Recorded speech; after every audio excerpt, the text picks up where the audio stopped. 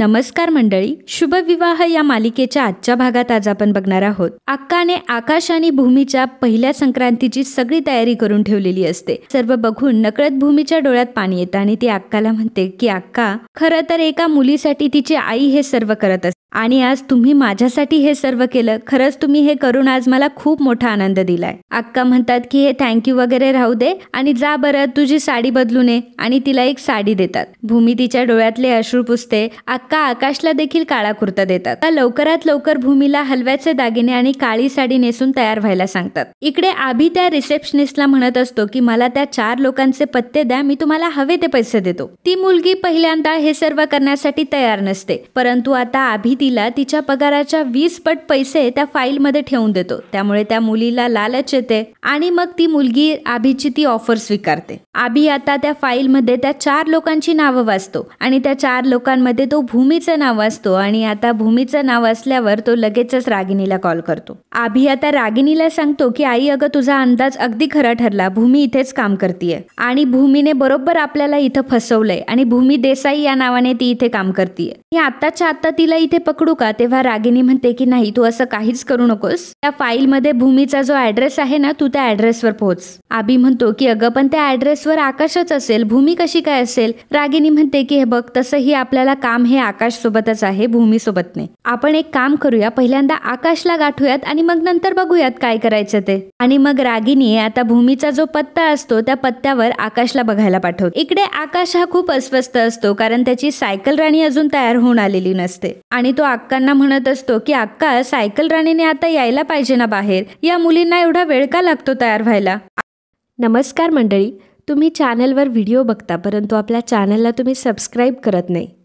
माझी तुम्हाला एकच विनंती आहे की प्लीज चॅनलला सबस्क्राईब करा आणि हा व्हिडिओ शेवटपर्यंत नक्की बघा. धन्यवाद. अक्का म्हणतो की आकाश तू आत्ता खरा नवरा शोभतोस बर का? म्हणजे बायको आली नाहीये म्हणून तू अस्वस्थ होतोयस. अरे बायकांना तयार व्हायला जरा वेळ लागतो. येईल तुझी सायकल राणी. पण तू ऐकेल तो आकाश कुठला? आणि आकाश परत भूमीची वाट पाहायला लागतो आणि मग भूमी आता छानपैकी रेडी होऊन आलेली असते. भूमीने काळी साडी आणि हलव्याचे दागिने घातलेले असतात आणि त्यामध्ये भूमीचं सौंदर्य मात्र वेगळंच खुललेलं असतं आणि ते बघून आकाशला मात्र खूप छान वाटत असतं. आणि तो भूमीजवळ जातो आणि म्हणतो की सायकल राणी अगं तू किती छान दिसते आणि हा काळा रंग तुझ्यावर किती उठून दिसतोय. आकाश भूमीचं खूप कौतुक करत असतो कारण भूमी सुद्धा तशीच दिसत असते. का भूमीला म्हणतात की खरंच भूमी तू खूप छान दिसतेस हा. भूमी आकाशला म्हणत असते की आकाश तुला माहितीये मुली एवढ्या तयार का होतात? कारण त्या फक्त त्यांच्या नवऱ्यासाठी तयार होतात आणि नवऱ्याने जर त्यांचं कौतुक केलं ना तर त्यांना खूप छान वाटतं. आकाश म्हणतो की सायकल राणी तू खरंच माझ्यासाठी तयार झालीस का? भूमी आता लाजते तेव्हा अक्का म्हणतात की सांग भूमी त्याला. आता तू त्याला लवकरात लवकर सांग की तू कोणासाठी तयार झाली नाही तर तो काय तुझं ऐकणार नाही. आणि मग भूमी आकाशला सांगते की हो आकाश मी तुझ्यासाठीच तयार झालीये. आकाश म्हणतो की खरंच सायकल राणी तू खूप छान दिसतेस अक्का म्हणतात की बरं आता कौतुक सोहळा बस झाला आता दोघांनी मिळून सुगड पुजून घ्या. अक्का आता भूमी आणि आकाशला दोघांनाही पूजा करायला सांगतात. दोघांना आशीर्वाद देतात आणि आशीर्वाद देत म्हणतात की दोघांचाही जोडा असाच कायम टिकून राहू देत. आता हे सर्व दुष्यंत ऐकत असतो आणि दुष्यंत लांबून हे सर्व बघत असतो. त्याच वेळी कोणीतरी एक माणूस येतो आणि तो दुष्यंतच्या खांद्यावर हात ठेवतो. दुष्यंत घाबरतो परंतु तो माणूस त्याचाच कारण त्याने रात्रीच्या शाळेची चावी त्याच्याकडे मागितलेली असते. रात्रीच्या शाळेची तो चावी घेऊन आलेला असतो आणि दुष्यंत आता भूमी आणि आकाशकडे बघत म्हणत असतो की आता हा तुमचा शेवटचा आनंद असणार आहे. आणि भूमी आता लवकरात लवकर माझी होणार आहे. आकाश आणि भूमी आता ऑफिसला जाण्यासाठी तयार होत असतात. तर भूमी आकाशला म्हणत असते की आकाश तू जा मी नंतर येते. आकाश म्हणतो की सायकल राणी अगं मी तुला सोडायला येतो ना. तेव्हा भूमी म्हणते की नाही आकाश तू तुझ्या कामावर जा. भूमी आणि आकाश दोघंही निघाले निघालेले असतात नेमका पत्ता शोधत शोधत आभी तिथपर्यंत पोहोचलेला असतो. आकाश आणि भूमी आता दोघांनाही एकमेकांना बाय करतात परंतु आभीचं मात्र त्यांच्याकडे लक्ष नसतं आणि नेमकी चुकामुक होते आणि आभी आणि आकाश तिथून निघून जातात. रागीने आता आभीने जो ऍड्रेस दिलेला असतो रागिनीला त्या पत्त्यावर येऊन पोहोचलेली असते परंतु तिला तिथे काहीच भेटत नाही आणि ती आभी आभीला रिटर्न कॉल करते आणि म्हणते की काय रे आभी तू दिलेल्या पत्त्यावर तर इथे एकही घर नाही. आभी म्हणतो की याचा अर्थ भूमीने आपल्याला पुन्हा मूर्ख बनवलंय. नाव जरी ती माहेर बाहेरचं वापरत असली ना तरी सुद्धा तिने पत्ता मात्र चुकीचाच कुठला तरी दिलाय. इथे तर कोणीच नाही याचा अर्थ आपल्याला गुमराह करण्यासाठी तिने हे केलंय. खूपच हुशार निघाली ही भूमी. तेव्हा रागिनी म्हणते की हुशार तर ती आधीपासूनच होती परंतु आता आपल्याला तिला धडा शिकवण्याची वेळ आली रागिनी म्हणते की आपण एक काम करूयात. आपण इनामदार कंपनीच्या बाहेर जाऊन थांबूयात. म्हणजे आपल्याला भूमीला अचूक पकडता येईल. भूमी इकडे गोडाऊन मध्ये आलेली असते आणि काल रात्री आगीमध्ये जे काही नुकसान झालेलं असतं ते ती आवरून ठेवत असते. तर तेथील एक वर्कर म्हणत असतो की खरंच मॅडम म्हणजे जो माणूस तुमच्या जीवावर उठला होता त्या माणसाला तुम्ही वाचवलं. तुमच्या नवऱ्याने त्याला पुन्हा जीवनदान दिलं. आणि खरंच तुम्ही खूप मोठं काम केलंय. खरं तुम्ही इतका चांगुलपणा आणता तरी कुठून?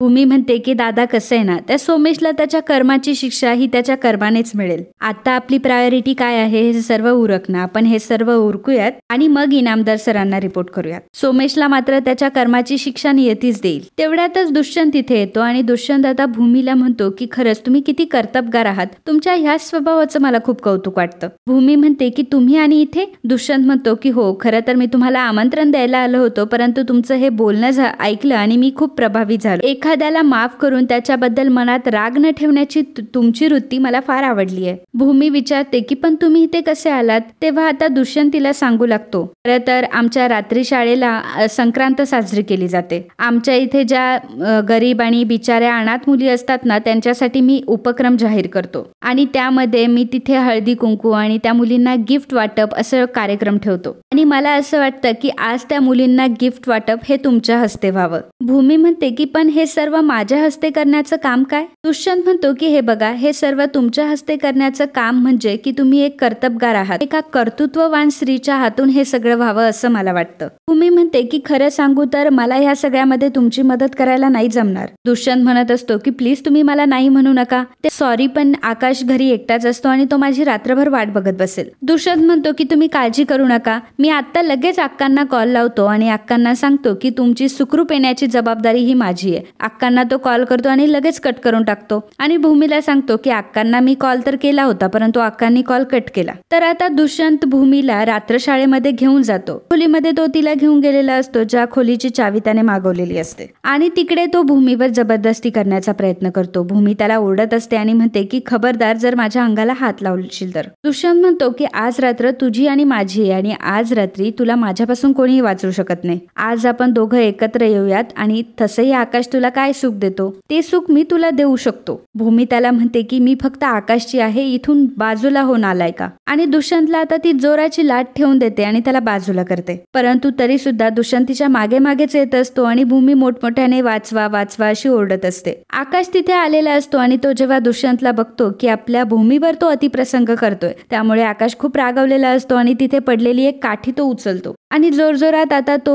दुष्यंतला मारायला लागतो आणि म्हणतो की सोड माझ्या सायकल राणीला ती माझी बायको आहे. तिथे अक्का सुद्धा आलेले असतात. ऐनवेळी आकाशने येऊन आता भूमीला वाचवलेलं असतं आणि नवऱ्याचं कर्तव्य देखील पार पडलेलं असतं. तर मित्रांनो असे शुभविवाह या मालिकेचे डेली अपडेट बघण्यासाठी आताच आपल्या चॅनलला सबस्क्राईब करा. आणि हा व्हिडिओ जर तुम्हाला आवडला असेल तर व्हिडिओला लाईक आणि कमेंट करायला अजिबात विसरू नका. धन्यवाद.